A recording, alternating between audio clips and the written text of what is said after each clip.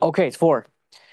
Let's go ahead and get started. So we are going to start a topic that uh, that I is very near and dear to myself, I suppose. Integral equations and the method of moments. Um, and this is the next chapter in your book that we're going to study. Your book only includes some two-dimensional stuff, and it briefly describes what a three-dimensional integral equation looks like, but it goes into no depth at all about how to solve it and um, what kind of basis functions you might use in 3D, and uh, you know, how to incorporate geometries that are arbitrarily shaped, for example. It goes into no detail about how to incorporate impedance sheets or different kinds of boundary conditions that integral equations are constructed around, except for the perfect electric conductor. And uh, it, it goes into no depth about how to incorporate dielectric materials.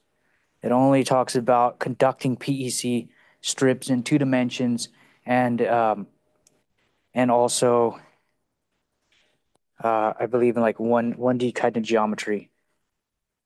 Uh, so two two dimensional electromagnetics problems, but one dimensional geometry. If you think of it that way, it's infinite in and out of the board, is finite in one other dimension, and has no no thickness. okay, we're going to go into all of that though in in our course. So we're going to go above and beyond what the book has, and I think it's very useful for you to learn this method because, um, as we'll see on the first slide of this lecture, that uh, and whenever you want to solve a scattering problem in electromagnetics, you have to know the induced current, right? So maybe what we should do is, is jump right into it. So approaches that we learned so far to compute scattering, right? Uh, to compute the scattered field from objects from objects illuminated. So I guess I wrote objects twice here, but to compute the scattered field from illuminated objects, we must use the vector potential integral. And we don't have to say must, but we can can use the vector potential integral, right? the vector potential integral we learned last semester. We have the magnetic vector potential at some observation point r is equal to mu over 4 pi times the volume integral of j, the current density, multiplied by the Green's function.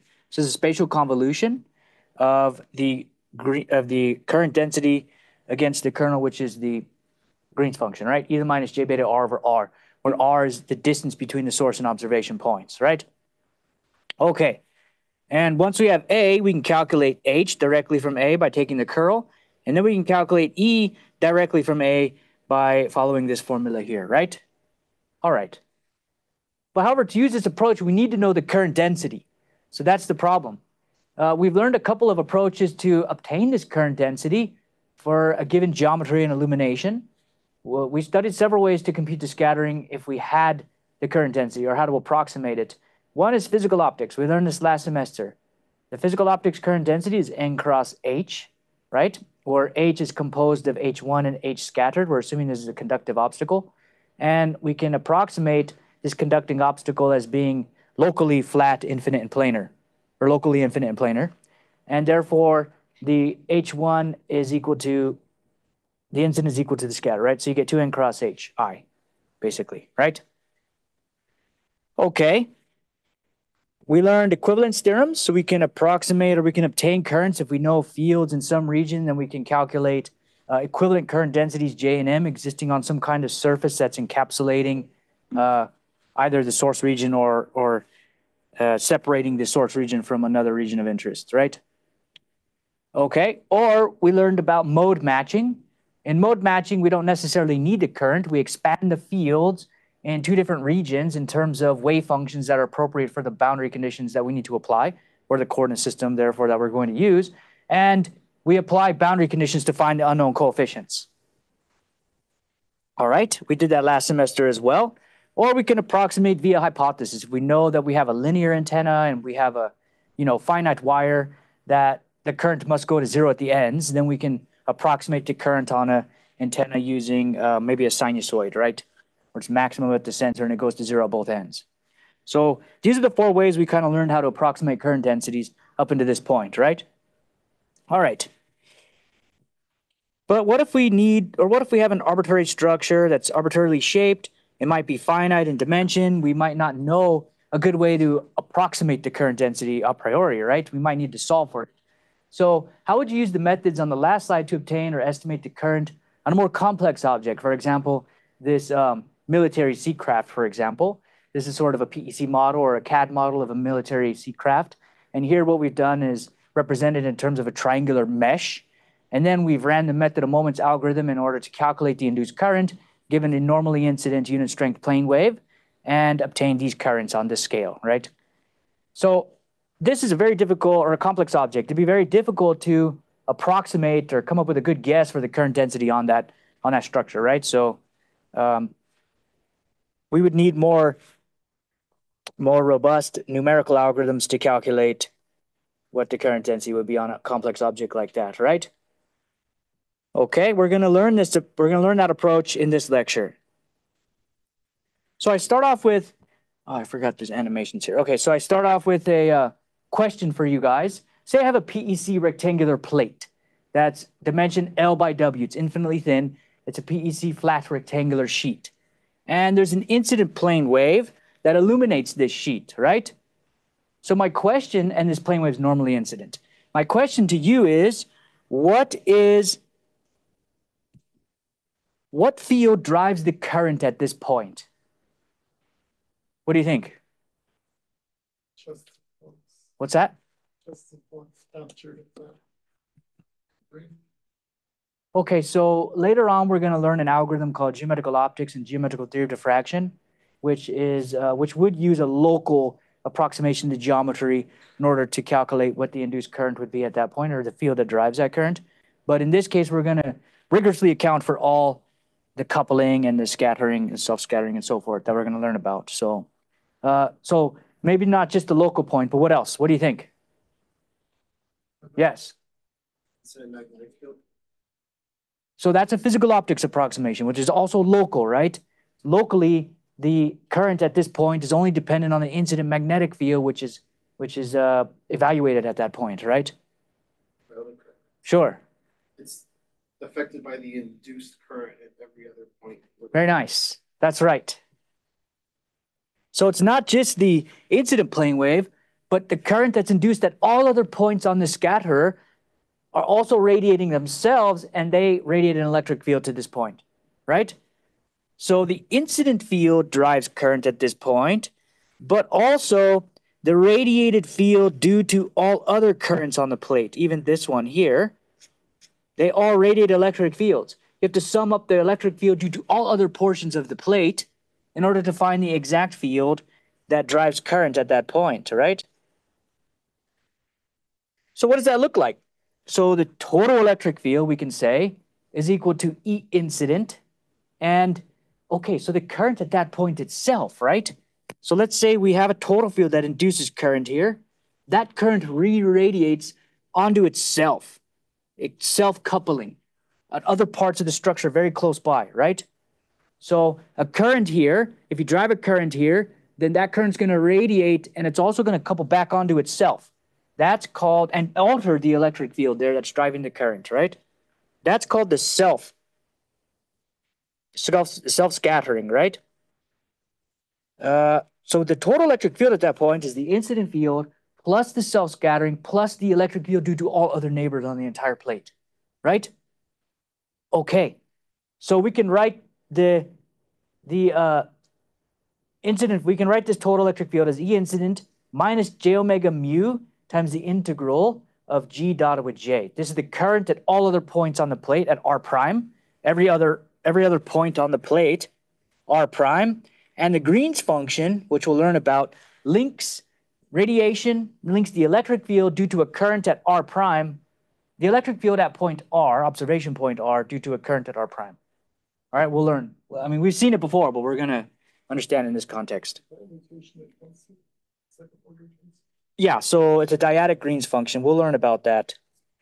Uh, yeah, we will learn about this. So it's just a matrix which collects responses and excitations. For example, GXX, GXY, GXZ, GYX, GYY, GYZ, GZX, ZY, ZZ, is the Green's function tensor, the dyadic. All right, so this Green's function dyadic, take the first index is the source, source component, right? The current density component, for example. And the second index is, I guess I should have said the inner index, right? The first index is the observation component, and the second index is the source component. So this this uh, element of the dyadic Green's function links or gives you the x component of the electric field at observation point R due to the z component of a current density at position R prime. All right? Don't worry about the tensor notation for now. It's just an introduction. Anyhow, this is how you calculate the scattered field, right? So the scattered field we're saying consists of self plus neighbor. All right? The vector potential kind of thing. All right, good. Okay. So I've repeated the equation here.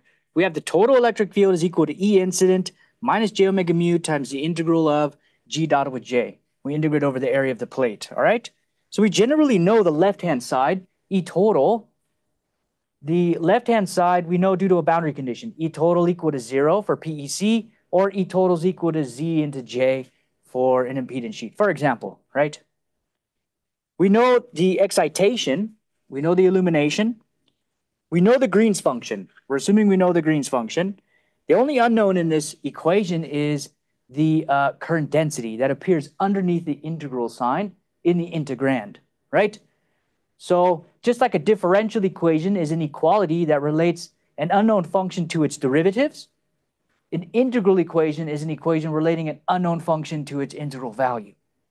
So this is some equality, right? There is a j that satisfies this equation. Everything is known except for the unknown current density in the integrand, right? Okay, so this is called an integral equation, and there are ways to solve these. So we'll do like a quick overview of what you would do to solve it, and then we'll get into a more concrete example.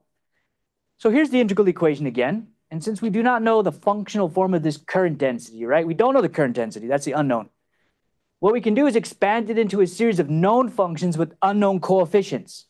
So what we can, for one, one example, one approach, is to break this PEC plate into a grid, right? And we can assign what's called a pulse basis function to each unit cell of that grid, which has dimensions delta x by delta y and height alpha. And by assigning different alphas, or we'll solve for the different alphas, that we would scale each of these pulse basis functions by to get sort of a stair step approximation to the current density on that plate. All right? So to illustrate this point, we'll assume that the current is constant within each cell, the so-called pulse basis function. All right? For this particular 3D problem, we will see that this is a bad choice of expansion functions as they, as, as they lead to accumulation of charge at the interface between expansion functions, but we'll worry about that later. So the idea is to expand our unknown current density into a weighted superposition of known basis functions. We couldn't do this integral, right? We cannot do this integral because we don't know J, that's what we're trying to solve for. But if I represent my current density on the entire plate in this form, then I can substitute that in for J, right? If I substitute this in for J, then what I get is an integral I can solve because I know what f are, right? And because of linearity, I can factor out these unknown coefficients from the integral. So what I end up with is an equation I can solve. I can solve this integral here, right? Uh, and but there are unknown coefficients. But now the problem is there's n complex constant coefficients that are unknown. There are n total of them. And we only have one equation, right? So it's just a high level overview. We're going to dig into more details in the following slides. So that's one of the problems here. We have this equation here that now we can solve it at least up to the unknown coefficient, but we only have uh, one equation and n unknowns, right? The n, n expansion functions, the coefficients rather. Okay, so this equation is valid at a single observation point R. So I've repeated the equation here. We don't know these n coefficients. We have one equation to solve. So one equation and n unknowns. We can solve this because we've chosen these basis functions to be known with unknown coefficients. All right. So this is valid at a single observation point R, this entire expression, this equality here. to generate n equations to solve for the n unknown complex constants now, we could evaluate this equation at n different observation points, right? So just evaluate this equation. We want to we want to construct n total equations so we can solve for n unknowns. And the way we do that is we evaluate this integral equation at n different points, making the system square, and then we can solve it. So solve for the unknown coefficients. So this is called point matching. We'll see this again later in this lecture. But uh, since we evaluate this equation, evaluating the equation means to enforce the boundary condition at the point of evaluation only. The boundary condition is only enforced at these n discrete points, right? Consequently, the current solve for can be inaccurate at, at the intermediate points. Yes? Can you give a summary of what the basis vectors are? Yeah, we'll get into that. So for now, there are known functions, right? What we were thinking of in this example is that we have uh, pulse basis functions. So they're equal to one, for example, and then the alpha that we solve for scales them. So we can have different heights, a different uh, stair-step approximation, if you will, or homogeneous, piecewise homogeneous approximation to the current. So it's it's uniform throughout its given domain of a pulse basis function. It's equal to one. So when you plug it into here, for example, this is just equal to one over this domain, right? So that drops off and we integrate the Green's function. Okay. So a more accurate approach would obviously be to average the equation over the domain of a small area near the point. So we'd average over the domain of the basis function, and we'll see how to do that later on. But to do that, we introduce a testing or weighting function and perform a weighted average integral of the equation over the testing function's domain. So uh, in, at this point, what we do is we take that equation, which was E total equal to E incident uh, minus the sum of alpha n into j omega mu times the integral of g into f, right? But now what we're going to do is we're going to multiply both sides of the equation by a weighting function called fm, and we're going to integrate over its domain. In this case, it could be pulses as well. So we're just averaging the electric, we're averaging this equation over this domain of this pulse basis function. All right? Okay. And we have to integrate over its domain. So doing that, we end up with a linear system of n equations and n unknowns that can be cast into matrix form and solved on a computer. So let's see how we would do that. This matrix we call the W matrix, which is the averaging of the electric field. It's a weighted average integral of the electric field, the total electric field, uh, over the domain of each cell, right? Here we have the uh, weighted average of the incident electric field, and we call that the V vector. And then we have the impedance matrix Z, which is the integration of the Green's function against the, they call this the testing function and this the basis function. All right? So don't worry if we're, this is just supposed to be a very high level overview and we'll get into the details of a specific ex example. All right? And then we have the unknown coefficients that we need to solve for. So for a given m and n, where m is an index, we'll see an example, where m is an index to a particular testing function and n is the index to a particular basis function, we can calculate this impedance matrix. And for, this, for a particular index m, which is for the testing function, which is one of these pulses, right? Let me go back. The nth pulse could be this one, and the nth pulse could be that one, and you just calculate the, you evaluate this matrix equation at the, or this integral equation at those uh, points. Yes. So is the pulse, the pulse basis function, is that what's called? Is, is that the F sub m? Yes. Oh, Okay. Yes. So it would be equal to one over the domain of integration over its, it's equal to one over this domain and zero everywhere else. We'll see an example. It'll probably make it a lot more clear. So this is a high level overview. So the linear system of n equations and n unknowns can be cast into a matrix form and solved on the computer. Once we can solve for these in's, then we can go back to, these should really be alpha n's, right? We can go back to the current density expansions. And we can plug in these alphas and we can approximate the current, the unknown current, all right? So here's a quick 1D example. Maybe this will help uh, help you to understand it. So here we're picturing a PEC plate, which has finite width W. It's infinite in and out of the board. It exists along the x-axis, and the y-axis is normal to it. The electromagnetics problem is therefore two-dimensional, with the out-of-plane wave number in and out of the board, kz, equals to zero. All right, so it's infinite and invariant in and out of the board. We do that just to reduce the dimensionality and simplify the problem. So it's a PEC plate, right? It's being illuminated normally from above with a unit strength plane wave or a plane wave of strength E naught traveling along the negative y-axis. And it's polarized in and out of the board like this, z hat.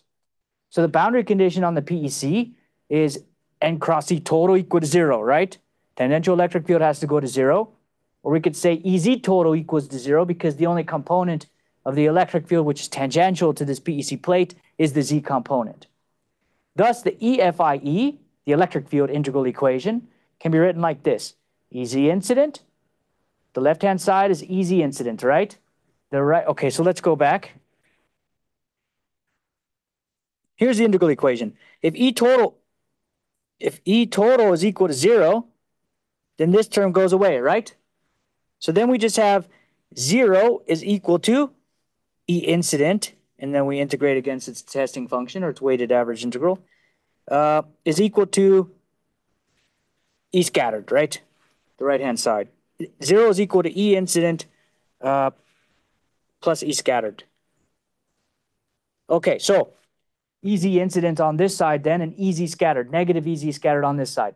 Okay, so look at here. If EZ total, EZ total, which is equal to EZ incident plus EZ scattered has to equal to zero, then we can say that EZ incident is equal to negative EZ scattered, right? And that means this part is EZ incident, this is negative EZ scattered. All right? Okay, so EZ incident is equal to eta times beta over 4. Don't worry where that comes from right now. And the integral over minus w over 2 to w over 2 over the domain of this plate of j into the Green's function for two-dimensional problems. It's not e to the minus jkr over 4 pi r. It is h naught 2. You've seen the Hankel function before, h naught kind 2. And it's the radiation due to an infinite line source, right? Okay, beta naught into x minus x prime. So that should not be there, this thing. Okay? All right, so let's discretize the geometry first. Here's our integral equation. We've, we've derived the integral equation now. Let's discretize the geometry. In this simple case, we use five segments. So there are one, two, three, four, five segments here. And each xn will denote the center of each pulse basis function of width delta, of width delta, right? So there's x1, x2, x3, and x4. And these all define the centers. You can index them like this, right? Okay, so let's expand our current density, our unknown current density into these pulse basis functions. Jz will equal to n equals to 0 to 4 of alpha n times Pn of x, where Pn of x is equal to 1 if you're in the domain, right? So Pn here says that if x prime, which this function has a definition for all x prime, if x prime is between x, so let's say this is 1, x1 minus delta over 2, so x1 is here, minus delta over 2 puts us there, or less than xn plus delta over 2 puts us here, right? So if x prime is in between these two bounds, then it will give you a value of 1. Everywhere else, it gives you a value of 0, right? Okay. All right, so the next step is to substitute that current density expansion into the integral equation. So here is our current density expansion. We substitute into the integral equation for the unknown current density that we're trying to solve for. And then we factor out the unknown coefficients, right? Sorry, these are the unknown coefficients. We factor out the unknown coefficients. And we're left with an integral we can solve, right?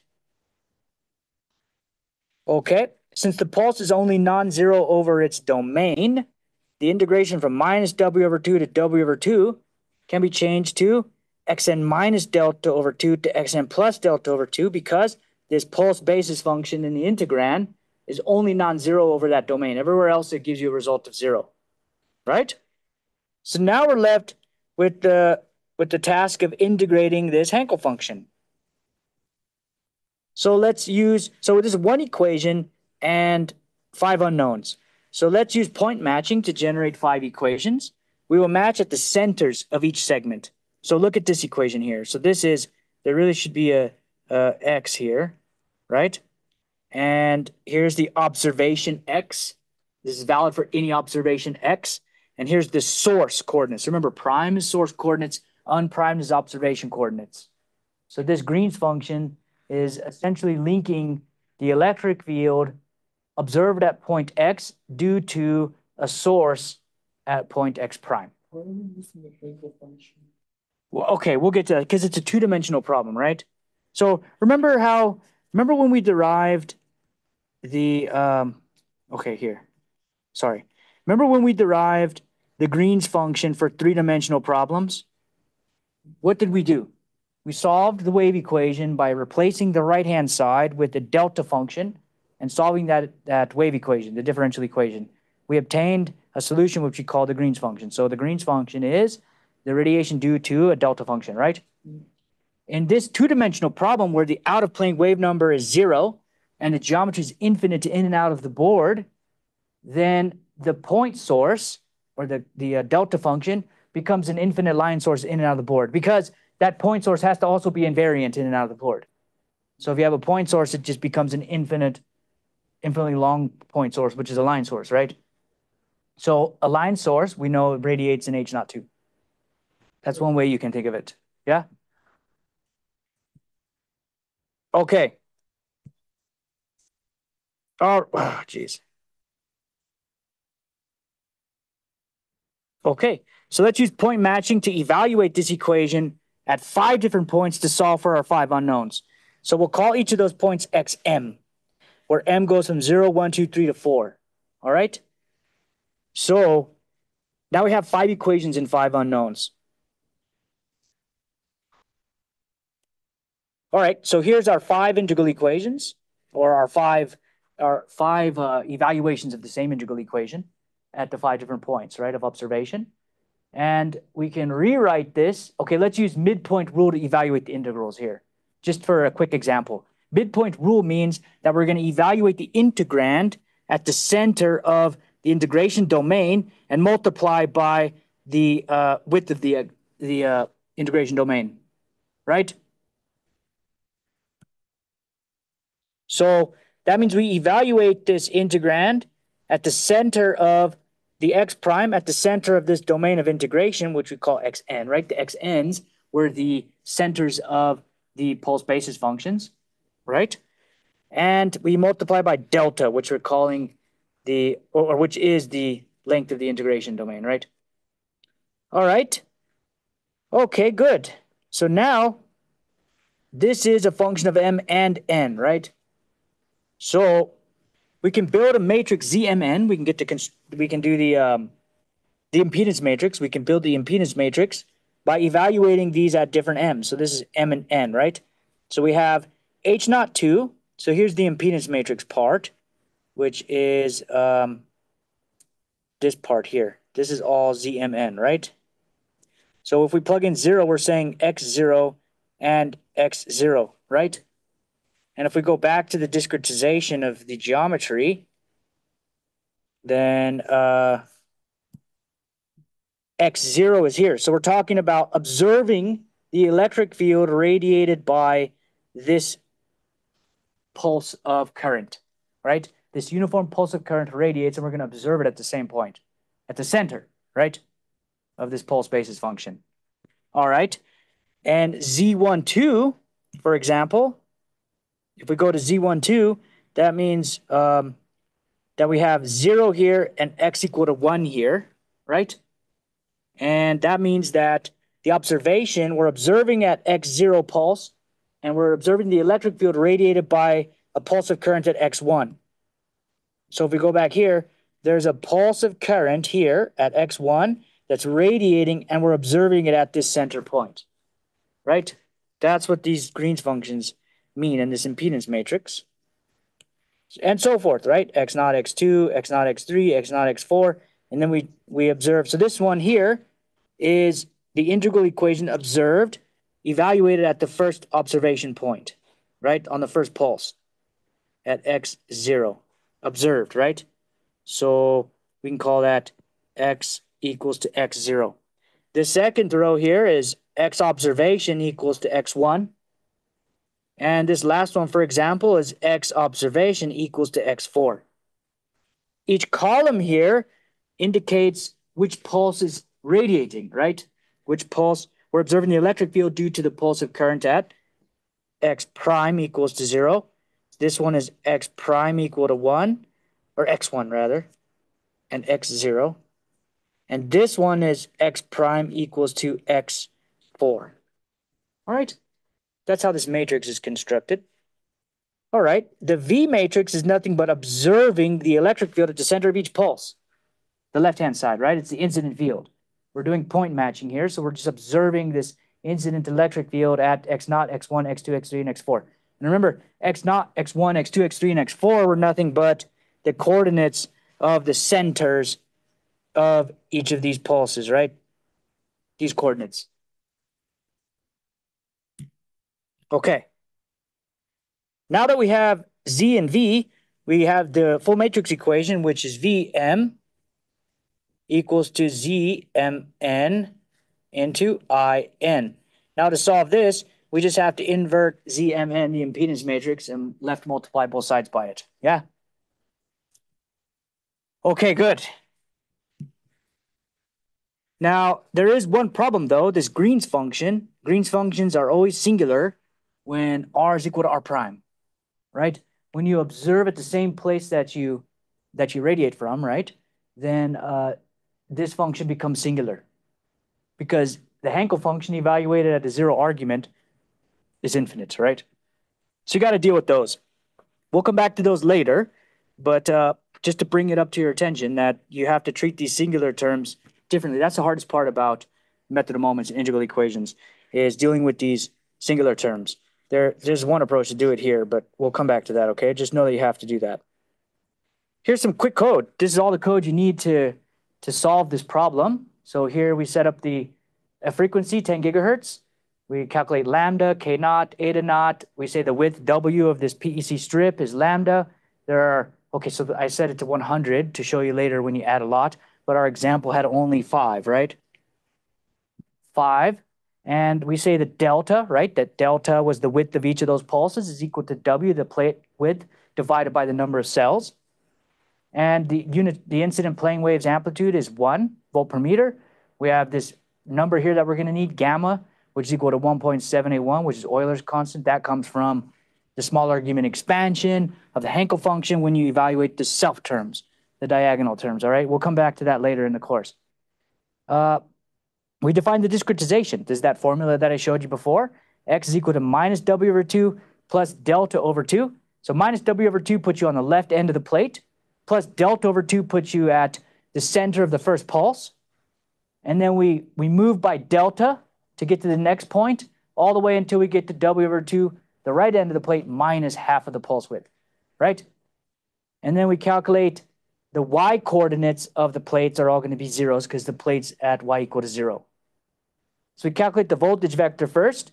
V is equal to E naught times, this is the incident field, but evaluate it at x, xm and ym, each of the values of these vectors, x and y. But because the plate's at y equals to zero, then um, and there's no component of k incident, no x component of k incident, right? This is an, this plane wave only is only dependent on y. It's not dependent on x because it's e to the minus jky. So this becomes this should be e to the plus jky, right? That should be plus. So this should be a five. This should be plus uh, either plus jky, but y is equal to zero, so the volt, the incident field is uniform across the um, PEC strip. So something happened with the, the font here, but what we do is we calculate the impedance matrix next. We loop for over m and n, so we start with the first pulse in the in the five pulse string that represents the current, and we st- we calculate uh, we loop through each of the others, right? So we start with pulse number one, then we go to pulse pulse one onto pulse one, pulse one onto pulse two, pulse one onto pulse three, pulse one onto pulse four, and so forth, right? And we loop over n. If m is equal equal to n, then that means it's the radiation at pulse one evaluated at pulse one. So it's called a self term.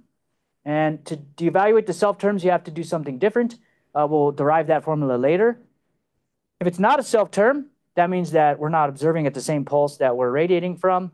Then we calculate the impedance matrix as eta k over 4 times delta, which is the width of the integration domain, and evaluating the integrand at its center point, right?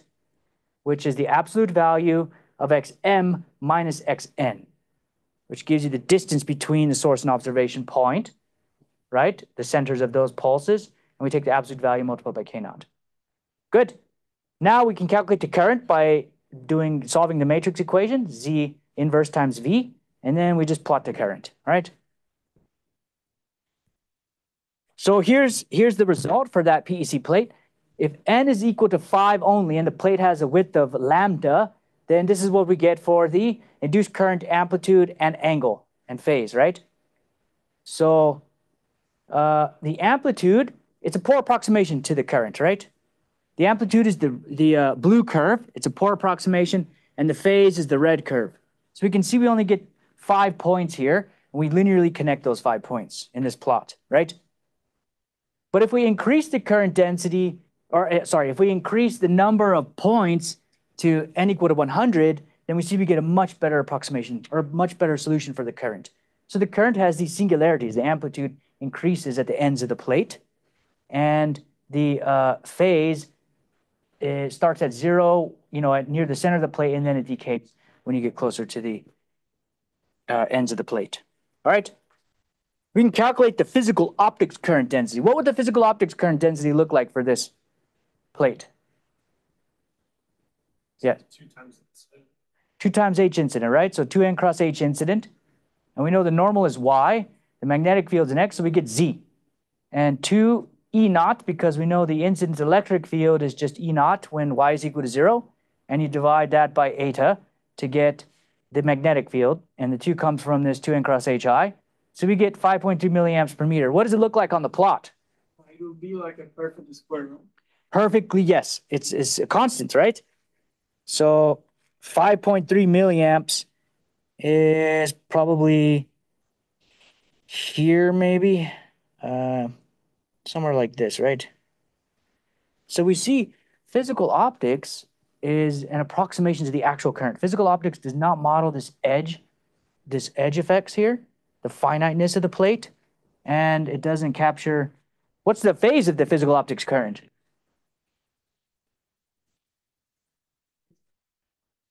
Zero, right? There's a real number. So the phase of the physical optics current is here. So physical optics is, obviously this is one lambda plate, so you wouldn't use physical optics here. Zero second maybe then the plate. No, it depends on the polarization, right? So if you have a plate like this and your polarization is this direction, then the current has nowhere to go when it gets to the end of the metal. So it has to go to zero. It can't be, you can't have current out here. So the current has to go to zero. So it looks something like this, right? But if you have polarization in and out of the board, then what happens actually is the current becomes singular like that. And it's because of the infinite amount of charge that you need to accumulate on these finite edges here in order to satisfy the tangential boundary, the boundary condition tangential E goes to zero. Charge on the edges, so would it just cap somehow? Well, yeah, so it's a singularity, right? So um, obviously it's a probably a countable singularity, but um, You have more charge on the edges, but it's not an infinite amount of charge. yes, it's not exactly infinite, right? We classify it as a, a singularity that it blows up, right? There's a lot of charge. Okay, great. Good question, though. All right. Is that why we normally use a tapered, like, like wave incident? Like for some problems to go the edge effects? Yeah, so if you have some some geometry that you're illuminating, like a reflector, for example, you don't want to illuminate the edges too strongly because we'll learn about this in the next lecture, in the next chapter. Um, you get a lot of edge diffraction, right? The edges interact with the incident field and they scatter in all directions. So uh, that can corrupt your pattern. You don't want to uh, illuminate the edges too strongly. So sometimes people will taper the illumination so that they weakly illuminate the edges to reduce the edge diffraction. Yeah, that's one reason why you can use a Gaussian beam. Uh, in the reflector case, it, there's actually more to it because you want to taper the feet so you don't incorp- or encounter anything called spillover. You don't want the power to spill past the reflector. You want to intercept most of the power with the reflector. Okay, so let's get into it a little bit more formally. So let's consider now an electric line source above a 2D finite width strip instead of a plane wave, a normally incident plane wave. So now we have a two-dimensional finite width strip. It still has width W. It still exists along the x-axis. The normal to the strip is y, and the z-axis is infinite, is in and out of the board. The geometry is invariant and infinite in and out of the board. But now we're illuminating it with a line source from above at a height h. The line source is also infinite in and out of the board and invariant. And we have the spherical coord, or sorry, the cylindrical coordinate system centered about, so there are two coordinate systems here, right? There is the y prime. This says y prime. There's the x prime here, which is centered on the strip. Then we have another coordinate system here, which is x and y, which is centered at the source, the illumination, right? The feed. Okay, so consider an infinite electric line source placed above a 2D conducting strip of finite width W. The line source, in the absence of the strip, radiates the field EZ direct, observed at some point rho. So if there's no strip, we can observe the electric field radiated by this infinite line source at some point rho, right? Uh, and that's nothing but eta k i z over 4 times h naught 2. This comes from last semester when we studied that in scattering chapter, right? Okay. The line source radiation intercepts the conducting strip and induces on it a conduction current density of Jz, it's in the z direction, right, in and out of the board, times delta x prime is going to equal to delta Iz of x prime, all right? So this is a current density, J, which is amps per meter squared, and we multiply it by the width of the strip, we get amps per meter. And in here, delta is going to be, uh, I of Z is in amps, and then here delta will get a discretization, which will be per meter. All right? Okay. This current density radiates a scattered field denoted as EZ scattered. So the current density that's induced at each of these unit cells radiates its own electric field, right? We call that the scattered electric field. If the strip is subdivided into n segments, each of the each of with delta xn prime, like we did before, the scattered field can be written as Ez scattered is equal to minus eta k over 4 multiplied, and then this is nothing but the scatter field observed at a position rho, at observation point rho, is equal to minus eta k over 4 multiplied by the Green's function and the sort of the, the uh, homogeneous approximation of the current density. Right? So we take this current density, J, we multiply it by H naught 2. This is nothing but the midpoint rule, essentially. Right? All right, so that's equal to minus eta k over 4. And we can plug in Jz here. If each of the line, in the limit as each segment becomes very small, we get the following integral, right? Ez scattered is equal to minus eta k over 4. Uh, we integrate over the domain of the strip, h naught 2, beta rn, where rn is the vector which connects the distance, the length of the vector which connects the source to the observation point P. So this here is Rn times diz. Okay? That's equal to minus eta k over 4, integral from minus w to w over 2, which is integrating over the strip, jz into h naught 2.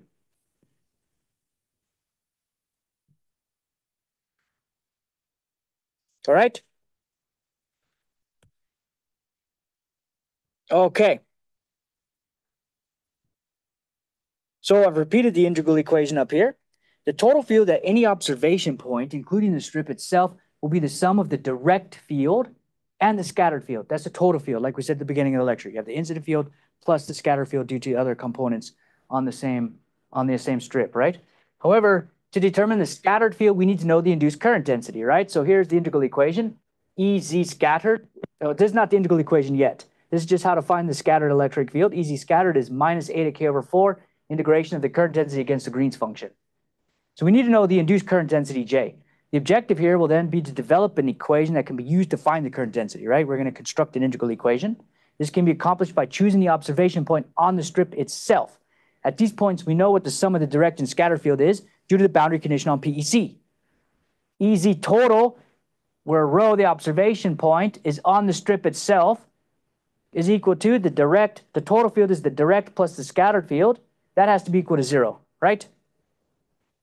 So EZ scattered can be can be related to EZ incident through a negative sign, right? EZ incident equal to negative E, or yeah, EZ scattered equal to negative EZ incident. So following from this boundary condition, we obtain EZ scattered. Here's the boundary condition again. We can express EZ scattered using this formula above. That's uh, here, right? This one is EZ scattered and EZ incident or EZ direct is on the left-hand side. All right? And we've negated, okay, so we've negated the scattered. This one's kind of backwards, right? It would probably be better if this said scattered and this one said direct. Okay, good. So if the if the uh, line source that we're using to illuminate the PEC strip has a unit strength or a unit current, then this drops out, and then we have eta k over four and eta k over four on both sides. Those can all uh, be canceled, and we get the left hand side is h naught two, evaluated at points on the strip because that's what this boundary condition demands that we're on the strip, is equal to minus the integral from minus w over two to w over two of jz into h naught two, right? Just the EFIE for the line source above the strip. Yeah. Okay. Um, think about the the function where we have, we're evaluating the self point at, with some other function. And then the Hankel function will drop off from infinity. So there's gonna be some uncertainty between where we're painting it there and where we're evaluating it with a different function at a finite point. Uh, say again. So we're evaluating the Hankel function. This distance is not zero, right? At least it's it can be zero, but It's gonna be finite. yeah, this will be finite unless it's a self term, which we still get a finite integral. But we'll we'll we'll deal with that later. So are you saying how do we deal with the uh Uncertainty like, but between where we have the self point and the non-self point, there's gonna be some sort of uncertainty, but depending on how smaller distances. Yeah, so uh, whenever the uh, argument of the Hankel function goes to zero, then it starts to blow up, becomes infinite, right? But uh, if we know this non-zero result, uh, I, don't know how to quantify the uncertainty. This this function is well known, right? So no matter what this distance is, we can evaluate this. If this distance is exactly zero, then uh, this function is singular, but you can integrate it. It's integrable singularity. So uh, I'm not sure how to, what the quantification of the uncertainty would be. Because the function is well known, right? Okay, good. So now we have to solve the integral equation. So the way we will do that is um, to solve the integral equation, we first expand the unknown current density into a finite series of the form. So we have jz of x prime is equal to the sum. We expand our unknown current density into known basis functions here with unknown coefficients, alpha n, and we sum them up from n equal to 1 to n, right? So it's the same thing as what we did back here. What we did back here was we broke this PEC strip into five segments, right? Each of those five segments, we assigned a single pulse basis function that was non-zero only over the segment's domain. We denoted the observation coordinates to be the center of those segments. So when we discretized the segment, we could point to the centers of each of those segments using this expression here, right? So we're doing the same thing here, except now the g of n's are called basis or expansion functions. So we're not going to pick a particular basis or expansion function, right? We're just going to call them gn of x for now. There are different choices of basis functions that we can use that give us, you know, more or less better, better or worse results or accuracy. So here we're just going to call them gn of x for now. They have unknown coefficients. And we substitute this expansion for the current density into our integral equation, which we couldn't solve before because we didn't know j, but now we substitute in a known expansion for j in terms of unknown coefficients and known basis functions. Then we end up with this expression here, right? All right, now we can factor out the summation, the unknown coefficients, and we end up with h naught 2 of beta rho m is equal to minus sum from n equal to 1 to n alpha n. And we have uh, this term here, minus w2 to w2 gn of x. So we're integrating now just the known expansion functions against the Green's function. This integral we can do, right? So uh, once we choose the gn of x. But those are known functions, so in principle we can do this integral. All right, and we can write this as h, the left-hand side we can call h. We can reproduce this summation of alpha n, and then this term, the integral itself, we're going to call uh, f of g of n, right? It's a function of g of n. So f is here. f is a function of g of n. It depends on the choice of basis functions that we use.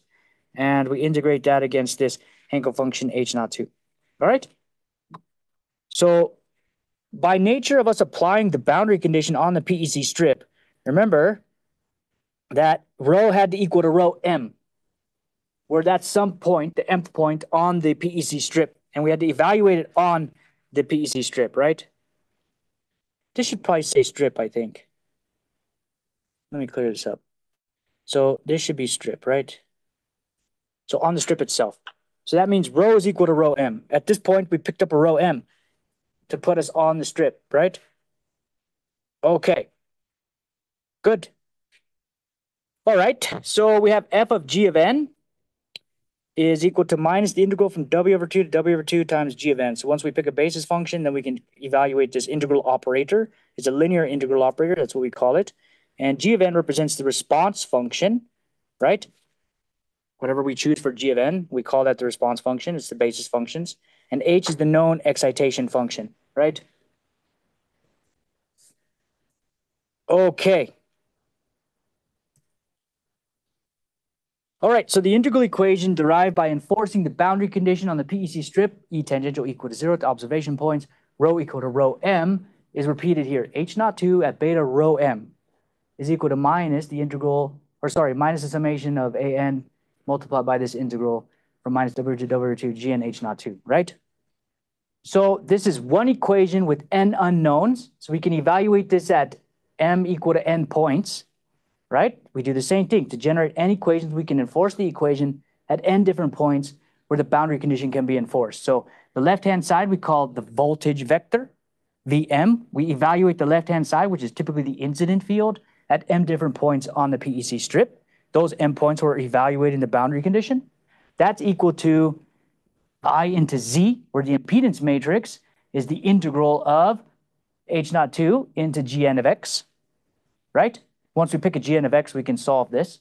And we evaluate that at m different observation points, where m goes from 1 to, 1 to n. And we integrate over the domain of each of these pulse basis functions, whatever the domain of Gn of x is, whenever we choose those, right? And then we are left with unknown coefficients.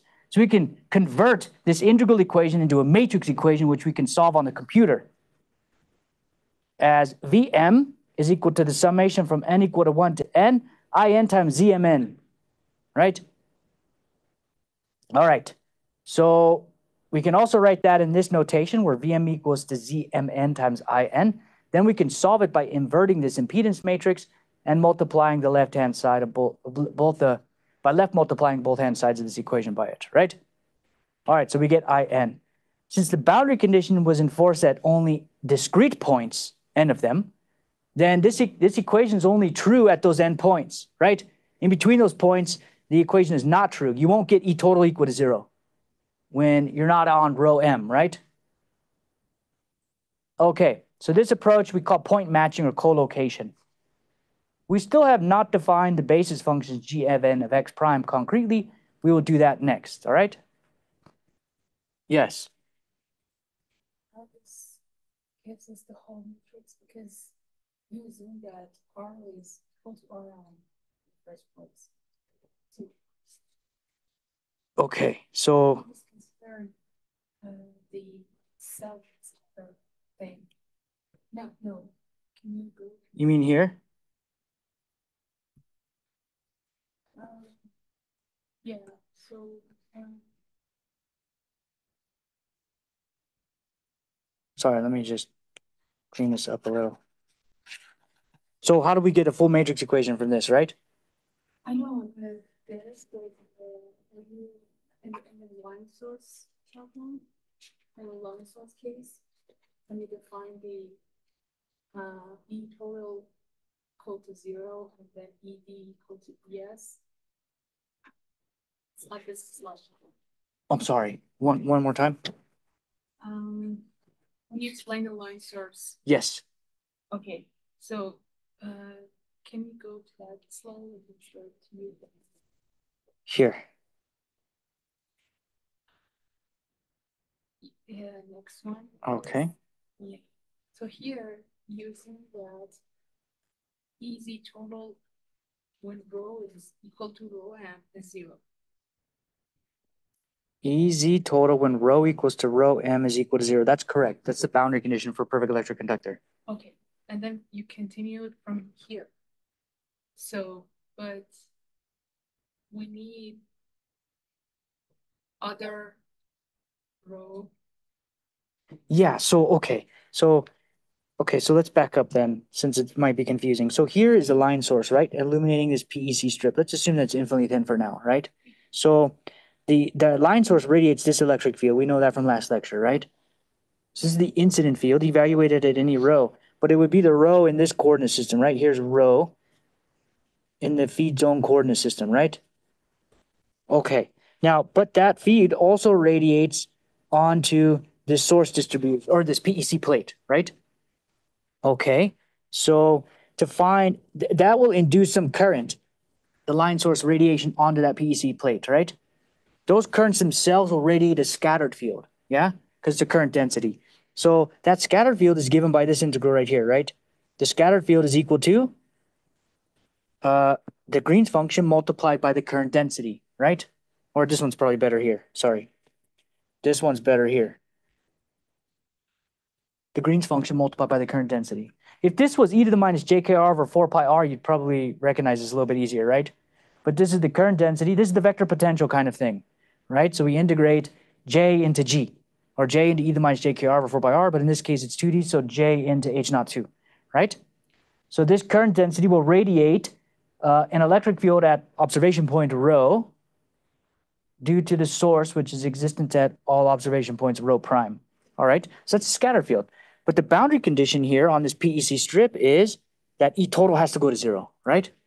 So if we go to the next slide, E total equal to zero, here's EZ total, right?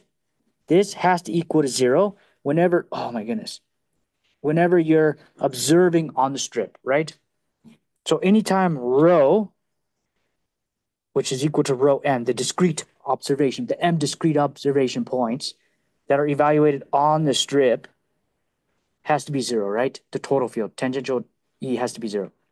Okay, I thought you just consider the self effect of each No, you got to use all of them, right?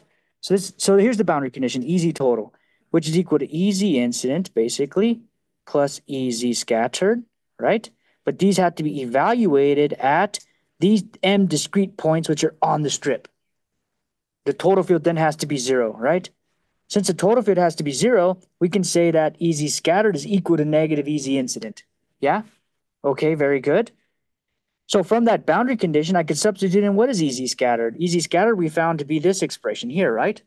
And what is EZ incident? EZ incident we found to be this expression, the radiation due to a line source. So if you equate those two, you get this expression here. But this is evaluated at all m of the, or the nth observation point, right? Okay, but for each of those observation points, so if I have a strip like this, the electric field here at this x0 observation point, or xm equals to x naught, is due to the current on the entire plate, right? That's why x prime varies from minus w over 2 to w over 2. The whole, the current on the entire plate contributes to the electric field at any given point, right? So you sum up the radiation due to all of that current at some observation point here. Okay, very good. Uh, so that means this integral equation here is, is valid at any rho n. Now, this is one equation here. We haven't substituted in the current yet, right? So let's do that next. So we substitute in the current as an expansion. The problem with this expression here is we do not know this current. We want to solve for it. It's in the integrand. So we expand it in terms of a series of known functions, gn of x, weighted by some unknown coefficients alpha n.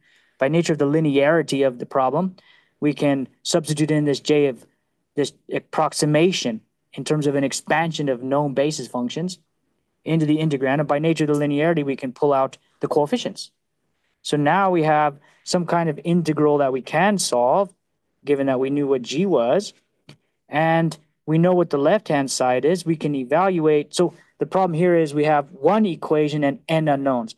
But now we can evaluate this at n different points on the scatterer. By doing that, we construct a matrix equation, which is very similar to uh, this one, right? So here, I have a strip like this. I have one, two, three, four, five, for example. This term here is nothing but the rate. Okay, let's not do that term. I'll come back to that term because it's a self term. This term here, for example, is the field observed here at the center of that pulse due to x2, which is this point, right? x2. So I integrate from minus x2 minus delta over 2 to x2 plus delta over 2. Right? This is not minus, is plus. Uh, and the pulse basis function has a unit strength there against the, so basically the j there, but it, the j had x not minus x2, right? dx. So the radiation due to this entire current element observed at this point, but not the whole strip, right? Just that current element is what this one is. Then the next one here is the radiation observed from this current strip onto this point. And this term is the radiation due to this uh, pulse basis function worth of current at this point. And then this one is obviously this one. And then this one is nothing but the radiation due to itself, back onto parts of itself right? So basically what I've succeeded in doing with this entire row is integrating the current across the entire strip and observing or adding up the field due to that current at this point. Yeah? So, and that's exactly what this is, right? When you, when you add, when you integrate, or when you sum over n equals zero to four. Yeah? Okay. And then you do that for the next pulse. So we have one, two, three, four, five. Then we use this observation point. This element here is this current observed here. Then this element here is this current observed here. This one is this current observed there. This one is this current observed there. And then this one is itself, current radiated back onto itself. All right, and so forth, right? So you build the entire matrix like that. Okay. Okay, so. All right. So we haven't picked a, a g of x yet, right? So this is our integral equation for the strip. And now we're going to uh, substitute in, or we're going to rewrite this in terms of a matrix equation, right? Given that we knew what the gn of x were, if we if we pick some gn of x's, where there are many different choices, we'll look at them next. But if you knew gn of gn of x, then you would be able to evaluate zmn, right? Because this is a known function, and the Hankel function is a known function, and you can do this integral in principle right? So you can calculate, and what is this integral a function of? Indices m and n, because you have to choose the nth basis function, the radiation due to the nth basis function current observed at the mth observation point, right? Okay, so you can do this for all combinations of m and n, and that means you get a square matrix here, right? All right. Then we have the voltage vector here where we just observe the incident field at the m observation points. And we have the uh, unknown coefficients in a vector i that we're going to solve for, right? So we get this matrix equation here. And we can solve that matrix equation for the INs. So we call this point matching a collocation. And since we have not defined the basis function concretely, we'll do that next, yeah? Okay, good. So what kind of basis functions can we use for gn of x? There are many different kinds of basis functions, right? There are two different classes. There are subdomain basis functions and there are entire domain basis functions. Subdomain basis functions are the ones we've been looking at so far, where they only span a subdomain of the entire domain of the problem, right? if the strip was minus W over two to W over two. It had a width of W, but the basis functions each had a subdomain of that, right? From xn minus delta over two to xn plus delta over two. So they only spanned part of the entire scatter. Those are called subdomain basis functions. They're much more general and versatile. Uh, then in contrast, there's entire domain basis functions. For example, we could have, instead of expanding the current in terms of a weighted superposition of, uh, so z hat, for example, a n times p n of x prime, right? Uh, where p n of x prime, oh, it's down here, right? And where p n of x prime is existent only over its subdomain. So here we have a pulse basis function, which is equal to one between x prime, between xn minus one and xn. So here's xn minus one and xn for n equal for g2. Um, it's equal to one, right? Why is it equal to one? Because when we solve for the coefficients of i, we can multiply that i by this pulse basis function of one, and we get approximation due to the current. For example, here. So here's all of the g1s of x's. All the g1s of x's are, or g of x's, are unit strength to start off with, right? When we build up this matrix equation here. These are all unit strength. Then they get scaled by the alphas that we solve for, right? So when you go back here to reconstruct or to construct the current, we have alpha 1, alpha 2, alpha 3 multiplied by G1. Let me let me write that out so you can see it. I'll uh, A1 G1 of x prime, A2 G2 of x prime, A3 G3 of x prime is what these say. That one, this one, and this one. All right? So the current then looks like it starts out at a lower value and increases to a larger value as it as you traverse around the strip along the x prime direction, right? Okay, so the alpha 1 is less than alpha 2, which is less than alpha 3. So the alphas scale the basis functions in order to create a approximation to the current. When we expanded J in terms of weighted superposition of pulse basis functions with unknown coefficients, this is exactly what we were saying. The current is constant over the domain of the pulse, but it's scaled by the coefficient that we solve for, right? So that's the approximation that we use with these pulse basis functions. So here, this thing says the sum over n of a n gn of x prime is the current now, right? So the best we could do with pulse basis functions is constant over the domain, and then it changes, right? So it's like a piecewise homogeneous approximation to the current with pulse basis functions. We could also use what are called triangular basis functions. So a triangular basis function starts out at zero at the left end of its domain. It increases linearly to the value of one at the center of its domain. And then it decreases linearly back to zero at the right end of its domain.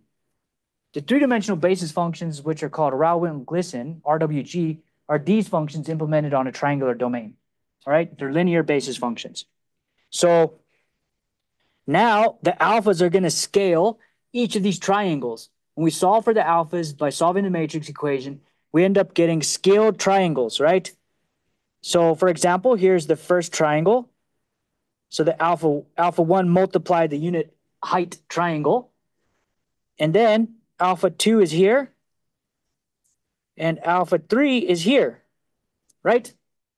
So what are we getting when we use triangles? We're getting a linear approximation to the current rather than a piecewise constant, right? So here we get piecewise constant approximation to the current. Here we get a linear interpolation of the current, right?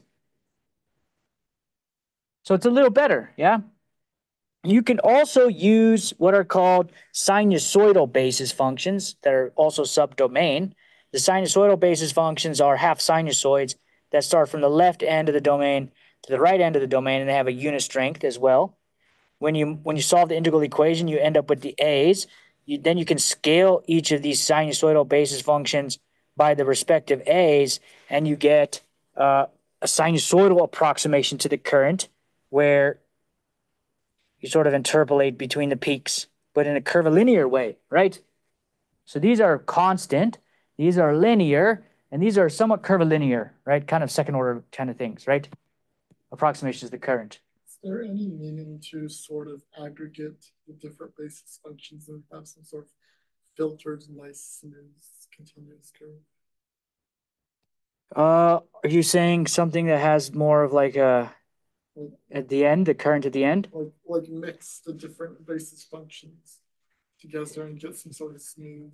Uh, You don't want to mix the basis functions, right? That's going to introduce some kind of. I, I haven't thought about that. Typically, that's not done. You don't mix the basis functions. But um, I, I suppose in principle you could. I don't know what that would, what you would gain out of that though. Uh, I suppose you could though, right? Your expansion function, when you expand the current, J, Before the boundaries, we can. Different or we're calling it GN. Yeah. Say again? I mean, uh, for the edges, we can use different basis function, maybe, I don't know. Uh, that I have not seen done either. In principle, though, you're expanding your current density in terms of whatever set you want to choose here, right? GN could be any set you want. They could be mixed, I suppose. But um, that's typically not done. Maybe there's a clever reason to do that, though, and you could come up with something interesting, right? Okay. Uh, On the topic function that you blends the two basis functions together, depending on how close to the edge you are, so. It'll sort of interpolate. Yeah, yeah, yeah, possibly. Very good. So the other class is called entire domain. Let me just say something about those. So let's say we have the strip of finite width W, and instead of breaking this thing into pulses of subdomain functions like we've been doing, instead we can take this pulse of finite width W and we can approximate the current or expand the current in terms of trigonometric functions, for example. Constant, then we could have uh, the half sinusoid, the full sinusoid. Uh, that's not a good full sinusoid, but uh, the one like this, right? So you can expand, you can expand the, the entire current, whatever function you expect the current to be, uh, j of x, right? Over the whole domain. We can expand that into a Fourier series, for example. And we could solve for the coefficients using this. And these would be differing sinusoids of integral period, right? So that's one other approach. Okay, so this is supposed to be a high level introduction to uh, of moments and integral equations. We're going to come back and study it in a little bit more depth next lecture, but at least you get the idea, right? The idea is we have an integral equation that we constructed by enforcing a boundary condition with a known incident field and the scattered field ex- expressed as a spatial convolution of an unknown current density and a Green's function, right? We don't know the current density, it's in the integrand. So we want to solve for it. How can we do that? We can expand the current density into a uh, weighted combination of basis functions. You plug those into the integral equation, you can pull out the coefficients, and you end up with integrals you can solve. You can convert that matrix then into a matrix system, matrix equation, n by n matrix equation to solve for the n unknowns that you expanded the current in terms of by enforcing that integral equation at n different points, the boundary condition at n different points. Then you just solve the matrix equation. Then you get the coefficients. Once you have those coefficients, you go back in and weight each of your basis functions by those coefficients, and you come up with your solution for your current, which is an approximate solution, right? It's easy, right? I mean, we had a couple of lines of code here to do, you know, the my hello world type of integral equation or method of moments. Uh, it's just this much lines of code, right? But it's so powerful. Now you can take any geometry that you can think of and you can illuminate it with uh, whatever field you want, like this, for example, and you can calculate the current, right? The actual current, the true current on this thing. Once you have the current on the surface, then you can find the radiated electric and magnetic field anywhere because the current is all you need. Remember when we solved the uh, when we solved the inhomogeneous wave equation using vector potentials, we needed the current as the input. Then we just use vector potential. We calculate B and E, taking the curl of A and so forth, right? Okay, good. Hopefully, uh, we'll we'll dig into it a little bit more next time. So it should just be introduction, something that you you just now see for the first time, right? Or or whatever. Made out of dielectric, What's that? what if the boat's made out of dielectric? Yeah, so that's that's the more difficult problem. We'll go into that. We're gonna study that for sure. Dielectrics are a lot harder to treat than perfect conductors. But because they're penetrable, right? So there are fields inside. Uh, but we will, we will, we will treat that, all right?